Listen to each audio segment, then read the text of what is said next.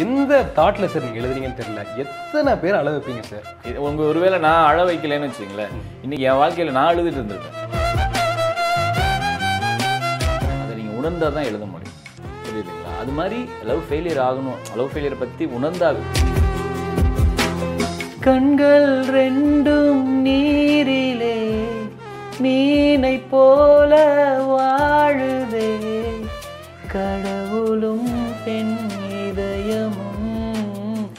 இருக்குதாட இல்லையா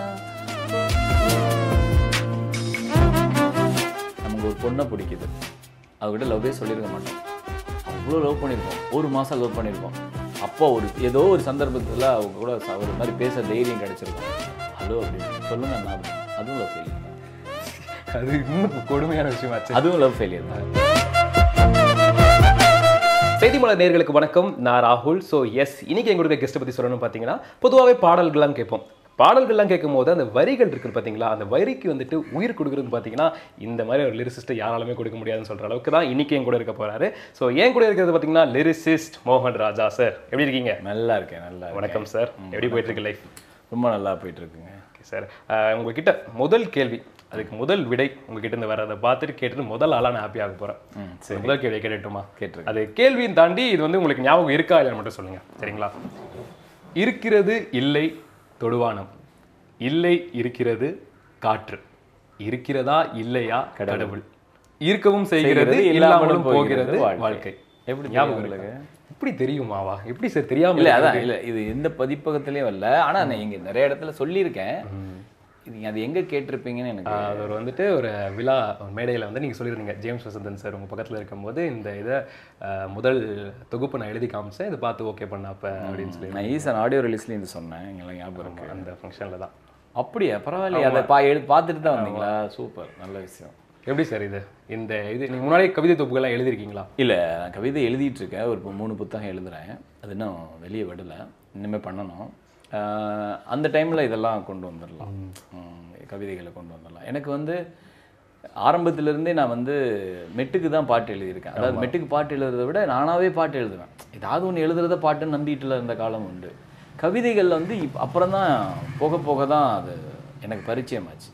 ஸோ இதெல்லாம் எழுத ஓ ஆமாம் இல்லை அப்படின்னு சொல்லிட்டு அதுக்குள்ளே நான் இப்போ தான் பயணிச்சு இப்போ இல்லை அப்போ இருந்தே பயணிக்கிறேன். ஆனால் இலக்கியவாதிகளோட தொடர்பு கம்மி எனக்கு. இப்போ எஸ். ராமகிருஷ்ணன் சார் எனக்கு தெரியும். அப்புறம் பார்த்தீங்கன்னா பாஸ்கர் சக்தியோட கொஞ்சம் என்ன பேசியிருக்கேன் பழகியிருக்கேன். அப்புறம் பார்த்தீங்கன்னா சி மோகன் சொல்லிட்டு ஒரு ரைட்டர் இருக்கார்.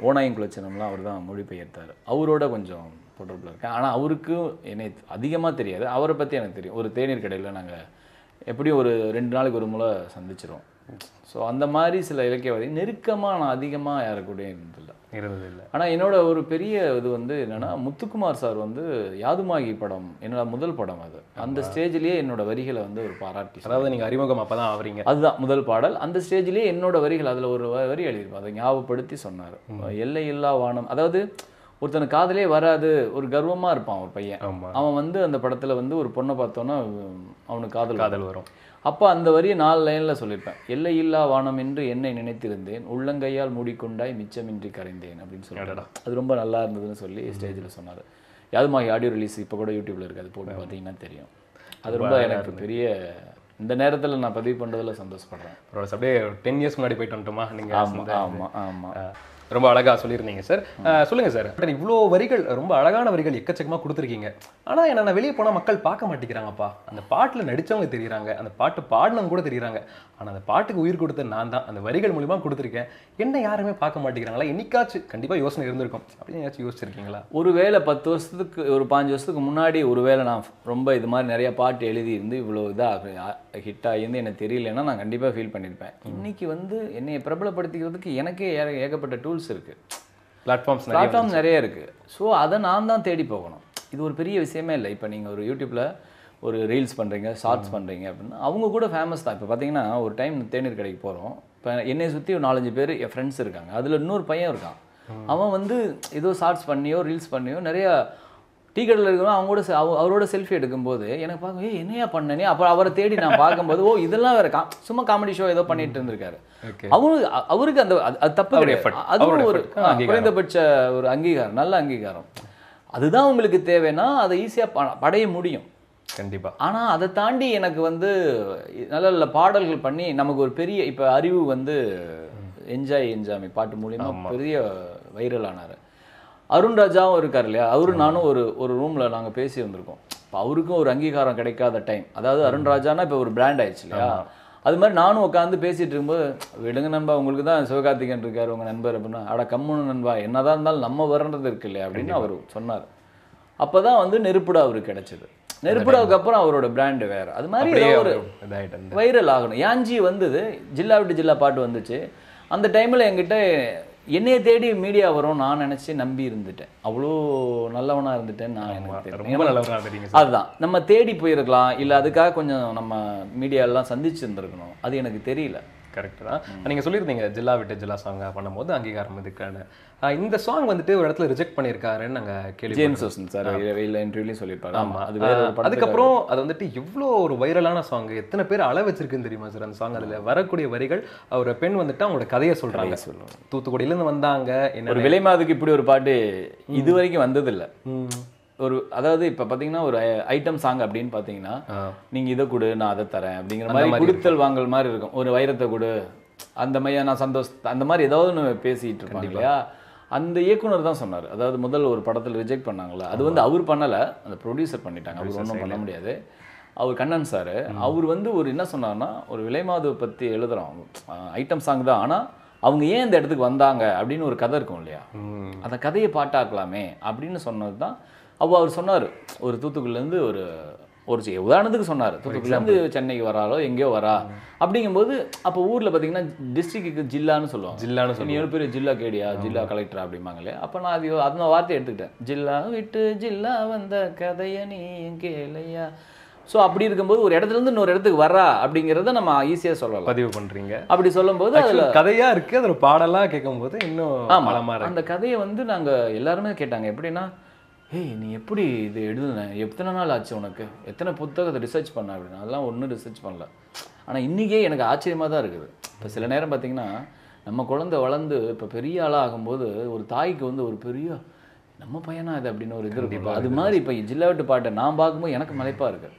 இது நம்ம தான் எழுதணுமா? அப்படிங்கிற ஒரு பிரமிப்பு அது. இந்த பாட்டை எப்பயுமே எனக்கு ஏற்படுத்து கொடுத்துக்கிட்டே இருக்கு. அண்ட் இதுக்கு வந்துட்டு உங்களுக்கு ஃபோர் அண்ட் ஹாஃப் ஹவர்ஸ் தான் எழுது எழுத டைம் எல்லாமே எனக்கு தெரிஞ்சு வச்சிருக்கையா வெரி குட் இல்ல சார் கண்டிப்பா வரணும்ல ரிசர்ச் பண்ணணும்ல. சூப்பர். எனக்கு ரொம்ப இன்ஸ்பைரிங்கா இருக்கு. எப்படி ஏன்னா சில இன்டர்வியூல என்கிட்ட கேட்டுக்கிட்டே அதே கேள்வி ஆக்குவாங்க. ஆனா நீ என்னைய இன்ஸ்பயர் பண்ற? சாரி என்னைய சர்ப்ரைஸ் பண்ற? தேங்க்யூ சார் ரொம்ப அழகா பதிவு பண்ணியிருந்தீங்க. இதெல்லாம் இருந்தாலுமே இந்த வருஷம் வரைக்குமே அந்த பாடல் கொண்டாடப்பட்டுட்டு இருக்கு. ஓகே அது ஒரு பக்கம் இருந்தாலுமே நீங்க வந்துட்டு ஒரு லவ் ஃபெயிலியருக்கு ஒரு ஆந்தம் எழுதிருக்கீங்க கனவே கனவேன்னு சொல்லிட்டு. எந்த தாட்ல சார் நீங்க எழுதுனீங்கன்னு தெரியல. எத்தனை பேர் அழ வைப்பீங்க சார் அந்த வரிகள்லாம் கேட்கும்போது சரி ஆல்ரெடி அவன் பிரேக்கப்ல உட்காந்துருப்பான் பிரேக்கப் முடிஞ்ச அடுத்த செகண்டே இந்த பாட்டு அவங்களுக்கு கனவே கனவை போட்டு அப்படியே உட்காந்துருவாங்க அப்படியே அழுக வச்சிருவீங்க. கடைசியில் ஒரு வரி வரும். அந்த வரியை கேட்கும்போது அவ்வளவுதான் கண்ணில் தண்ணியா கொட்ட ஆரம்பிச்சிடும் ஏன் சார் ஏன் அழ வச்சீங்க? இல்ல காரணம்? என்னன்னா ஒரு விஷயம். இது உங்க ஒருவேளை நான் அழ வைக்கலைன்னு வச்சுங்களேன் இன்னைக்கு என் வாழ்க்கையில நான் அழுதுட்டு இருந்திருப்பேன். உண்மை தானே கண்டிப்பா. ஏன்னா அந்த பாட்டு இப்போ இவ்வளோ பேரை தொடுது அப்படின்னா இப்போ ஒவ்வொரு முறை அனிருத் லவ் லைவ்ல ஏதாவது மீடி சோஷியல் மீடியாவில் வந்தாலும் சரி இல்லை லைவ் பர்ஃபார்மன்ஸ் பண்ண ஸ்டேஜில் பண்ணாலும் சரி இந்த பாட்டை மிஸ் பண்ணாமல் அவர் ஆரம்பிப்பார். ஆனால் முடிக்கிறது ஆடியன்ஸாக இருக்கும். ஆடியன்ஸாக இருக்கும். அவங்க தான் பாடுவாங்க. ஸோ அவர் பாட்டுக்கு சும்மா அப்படி மைக் இப்படி இப்படி நீட்டுவார் அவர் அப்பப்போ பாடுவார். ஸோ அந்த அளவுக்கு போய் ரீச் ஆயிருக்குன்னா எழுதும்போது எப்பயுமே தெரியாது. இந்த குழந்தை கட கலெக்டர் ஆவார் இந்த குழந்தை முதலமைச்சர் ஆகுன்னு யாருக்கும் எதுவுமே தெரியாது. கரெக்டாக விதைக்குள்ள இருக்கிற இது வந்து விருட்சமா இல்லை செடியா புல்லா எதுவுமே தெரியாது. ஸோ வளர வளர தான் அது தெரியும் இல்லையா? அது இன்னைக்கு வந்து நிற்கிறது எனக்கு ஆச்சரியமா இருக்கு. ரொம்ப பெருமையா இருக்கு சந்தோஷமா இருக்கு. அது வந்துட்டு அந்த டைம்ல யாருக்கு பிரேக்கப் ஆச்சு? உங்களுக்கா இல்ல அனிருத் சாருக்கா இல்ல அப்படி இல்ல. நீங்க பிரேக்கப் ஆன ஆளுங்களை எழுத சொல்லிருங்க. அப்படிலாம் கிடையாது. என்னன்னாங்க ஒரு அதாவது எதையுமே இப்ப விலைமாதை பத்தி எழுதுறங்கிறதுக்காக நீங்க அவங்க கூட போனாதான் இல்ல அவங்கள பத்தி தெரிஞ்சு அப்படிலாம் கிடையாது. அது ஒரு வழி. கண்டிப்பா சார். அதை நீங்க உணர்ந்தா தான் எழுத முடியும். புரியுதுங்களா? அது மாதிரி லவ் ஃபெயிலியர் ஆகணும் லவ் ஃபெயிலியரை பத்தி உணர்ந்தா இப்ப நமக்கு ஒரு பொண்ணை பிடிக்குது. அவகிட்ட லவ்வே சொல்லியிருக்க மாட்டோம். அவ்வளோ லவ் பண்ணியிருப்போம் ஒரு மாதம் லவ் பண்ணியிருப்போம் அப்போ ஒரு ஏதோ ஒரு சந்தர்ப்பத்தில் அவங்க கூட ஒரு மாதிரி பேச தைரியம் கிடச்சிருக்கும். ஹலோ அப்படிமா சொல்லுங்க அண்ணா அப்படிமா அதுவும் லவ் ஃபெயிலியர் தான். அது இன்னும் கொடுமையான விஷயமாச்சு அதுவும் லவ் ஃபெயிலியர் தான். அதே மாதிரி ஒரு ஒரு சின்ன கதை உலகத்திலே குட்டி சா ஒரு குட்டி காதல் தோல்வி கதை ஒன்று சொல்கிறேன் அது ஒரு படித்தது ஒரு ஒரு இதில். ஹலோ அப்படின்றேன். அருமையான ஹலோ என்றால் அருமையான வாய்ஸ் அருமையான குரல் அப்படி என்று மிதந்த பொழுது சொல்லுங்கண்ணா என்றார் அங்கு முறிந்தது என் காதலின் ஒரு குறுகிய நேர காதல் முறிவு அப்படின்னு சொல்லி ஒரு அது கூட காதல் தோல்வி தான் டக்குன்னு ஒரு செகண்ட்ல முடிஞ்சிருச்சே. ஆ அதனால எதையுமே இப்போ நம்ம வந்து பார்த்தீங்கன்னா ஒன் ஒருதலை காதலத்தில் நிறைய பேர் இருக்காங்க. ஆமா சார். டூ கே கிட்ஸில் இல்லை நைன்டிஸ்லாம் நிறைய பேர் இருக்காங்க. இன்றைக்கும் ஒருதலை காதலில் இருக்குது நிறைய பேர். ஏன்னா அவங்களுக்கு வந்து பார்த்தீங்கன்னா எயிட்டிஸும் நைன்டிஸும் வந்து ஒரு விதத்தில் லக்கி மேன் எப்படின்னா கடைசி கடிதத்தை எழுதினவங்களும் அவங்க தான் முதல் இமெயில் ஆரம்பித்தவங்களும் அவங்க தான் புரியுதா? கண்டிப்பா. முதல் முறையா விட- ஒரு செங்க ஒரு செல்போனை முதல் முறையா ஒரு செங்கல் செங்கல் மாதிரி இருக்கும்ல அந்த செல்போனை பார்த்தவங்களும் இதுதான். அதை விட ஒரு வேற லெவல் என்ன சொல்றது ஆண்ட்ராய்டை பார்த்து அதை ஏற்றுக்கிட்டவங்களும் அதுதான். ஸோ எல்லாமே தெரியும் அவங்களுக்கு. ஃபோன் இல்லாத வாழ்க்கை என்னன்னு தெரியும். ஃபோன் இருந்து அது எவ்வளோ டார்ச்சர்னு இப்போ அதுவும் அந்த டூ கே கிட்ஸுக்கு அது தெரியாது. இப்போ என் பையன் வந்து நான் சொல்கிறேன் அந்த டைம் அவனே சொல்கிறான் அந்த காலத்தில் ஃபோனே இல்லைல்லப்பா அப்படி ஆமாப்பா. எப்படி நீங்களாம் வாழ்ந்தீங்கங்கிற மாதிரி கேட்குறான் என்னன்னா அதுக்கு இவன் பழகிட்டான். அந்த வாழ்க்கையை பற்றி அவனுக்கு தெரியாது. கண்டிப்பா. நான் தான் சொல்லுவேன். என்னன்னா இப்போ இருக்கிற குழந்தைகள் அறிவுல சூப்பராக இருக்காங்க. நான் இல்லைன்னே சொல்ல ஆனால் உணர்வு ரீதியாக பின்னாடி போக போக தான். சிக்ஸ்டீஸில் இருந்த உணர்வு உணர்வு ரீதியாக வாழ்ந்த மக்கள் செவன்ட்டீஸில் குறைஞ்சாங்க. செவன்ட்டீஸில் இருந்த உணர்வு அப்படியே எயிட்டிஸில் குறைஞ்சிது. எயிட்டி அப்படியே போக போக போக இப்போ உணர்வுக்கு பதிலாக அறிவு அதிகமாயிருச்சு. எல்லாமே வந்து அறிவு அதிகமாயிருச்சு. ஆனால் உணர்வு இல்ல. இல்லை. நீங்கள் சின்ன ஒரு அம்மா பாட்டோ இல்லை ஏதாவது ஒரு நெகிழ்ச்சியான இப்போ நீங்கள் அழுகுறீங்கன்னு சொல்கிறீங்களா லவ்க்கு அழுகுறீங்க ரைட்டு மற்ற சொந்தத்துக்காகவோ மற்ற இதுக்காகவோ இல்லாததுக்காகவோ நீங்கள் அழுதுறீங்களான்னு தெரியாது. ஏன்னா இது உங்களுடைய சுயநலம். காதல்ங்கிறது சுயநலம் தான். அதனால ஈஸியாக அழுக வந்துடுது அதனால தான் இப்போ காதல் பாடல் தோல்வி பாடல் எழுதிட்டா ஆஹா செம்மாவா செம்ம பாட்டு. நான் ஃபீல் இதே பொதுவாக ஒரு பாட்டு கண்ண நீ கண்ணதாசன் ஐயா தத்துவ மாதிரி ஒரு பாட்டு எழுதுங்களேன். நல்லா இருக்கு. ஆனால் மச்சான் அது வந்து அப்படின்னு ஸ்கிப் பண்ணிட்டு ஏன்னா உங்களுடைய உணர்வு கம்மியாயிருச்சு. உங்களுடைய பொதுநலம் கம்மியாயிருச்சு. நான் உங்களுடையனா இப்போ இருக்கிற காரணம் என்னன்னா எல்லாருக்குமே எல்லாமே ஈஸியாக கிடைக்குது. அதனால அதோட வேல்யூ தெரியல. நீங்கள் நினச்சிங்கன்னா ஃபோனில் எல்லாமே நீங்கள் இது இப்போ பார்க்க முடியும். எல்லாத்தையும் கற்றுக்க முடியும். சரி ஃபோனை இவ்வளோ குறை சொல்கிறோம்ல யூடியூப்பில் ஆயிரம் நல்ல விஷயம் இருக்குது அதையும் நம்ம கற்றுக்க மாட்டேங்கிறோம். அதுக்கு ஏன் டைம் ஒதுக்குறது இல்ல கரெக்ட் புரியுதா? நியாயமான கேள்வி அப்புறம்? அதனால இப்போ காதல் பாடல்கள் வந்து அந்த அது வந்து பிரேக்கப் ஆகி எனக்கு பிரேக்கப் இருக்கு நிறைய இருக்கு. நான் வந்து இப்போ சொன்னேன்ல நான் யாரை பார்த்தாலும் காதலிப்பேன். அப்போ கல்யாணத்துக்கு முன்னாடி. ஆனால் அது ஒரு ட்ரூவாக இருக்கும். அந்த பிள்ளை ஆனால் சொல்ல தைரியம் இருக்காது. உள்ளுக்குள்ளேயே வச்சு- உள்ளுக்குள்ளே இருக்கும். ஆனால் ஒன்றை நான் விட்டுட்டு வேற ஒரு ஒன் சைடாக அதுலேயும் ஒரு உண்மையாக இருப்பேன். இது அந்த பொண்ணை நான் பார்க்கவே மாட்டேன். அதுக்கப்புறம் நான் அந்த பொண்ணே பா இந்த பொண்ணை லவ் பண்ணேங்க ஒன் சைடு ஆனால் கிடைக்கல. அப்படிங்கிறத அடுத்த பொண்ணு சப்போஸ் நான் பேச ஆரம்பிச்சேன்னா சொல்லிடுவேன். என் ஒய்ஃபுக்கு சொல்லியிருப்பேன் நான் எல்லாத்துட்டையும். எல்லாமே ஷேர் பண்ணிடுவீங்க. அவங்க என் மேலே பரிதாபப்பட்டு தான் காதலிச்சாங்கன்னு நினைக்கிறேன். இத்தனை காதல் ஆமா எனக்கு லவ் மேரேஜ் இத்தனை காதல் கடந்து வந்திருக்கான் ஒண்ணுமே ஒர்க் அவுட் ஆகல. சரி பாவம் பொழைச்சி போ. அப்படின்னு எல்லா காதல் என்ன காதலிச்சிட்டாங்கன்னு நினைக்கிறேன். அப்படிதான் நான் அடிக்கடி சொல்லுவேன். ரொம்ப அழகா அந்த கனவே கனவே ஜர்னி சொல்லியிருந்தீங்க. அதுல குறிப்பிட்ட வரிகள் சார் இது நியாயமா? மனம் தாங்க மனம் தாங்குமா? என் ஆசைகள் அது பாவமா? அவ்வளவுதான். உருகி அழுக தொடங்கி ஆரம்பிச்சு அழுதுட்டே இருப்போம். இது நான் ஒன்று சொல்லிடுறேன். என்னன்னா இப்போ ஜில்லா விட்டு ஜில்லா நாலரை மணி நேரத்தில் எழுதணும்னு சொன்னேன் இல்லையா? அது மாதிரி இந்த பாட்டு வந்து பார்த்தீங்கன்னா எனக்கு டியூன் அனுப்புனது பல்லவி மட்டும்தான் அனுப்பிச்சிருந்தாரு. அப்போ அது நான் ஒரு லூப் சாங் ஏன்னா ஒரே டியூனே வர மாட்டேங்குது அப்படின்னு நாலு பல்லவி அனுப்பிச்சிட்டேன். அடுத்த நாள் ரெக்கார்டிங் ஒரு ஒரு பத்து நாளுக்கு அப்புறம் எனக்கு ஃபோன் வருது. அனி அனி சார் அனி அனி ப்ரோட் இருந்து ப்ரோ நீங்கள் சரணம் அனுப்பல. நீங்கள் டியூன் அனுப்பல ப்ரோ எனக்கு நான் இது லூப் சாங்னு நினச்சி நாலு பே- அப்படியா? ஐயோ அப்படின்னு சொல்லிட்டு உங்கள் மெயில் மெயில் ஐடி மறுபடியும் கேட்டு அப்புறம் அனுப்பிச்சார். Okay. அன்றைக்கி நைட்டே உட்காந்து ஒரு ஆஃப் அன் ஹவர் எழுதுனது தான் அது. கண்கள் நீரிலே மீனை போல வாழுது. கடவுளும் பெண் இதயமும் இருக்குதா அட இல்லையாங்கிறது ஒரு ஆஃப் அன் ஹவரில் எழுதுனேன். தயவு செஞ்சு பாடிடுங்க சார் ஐயோ அது நம்ம இல்லை இல்லை அது ஒரு என்னன்னா ஒரு நிறைய ஸ்டேஜில் ஒரு அணி பாடியிருக்காரு. ரொம்ப பிடிக்கும்.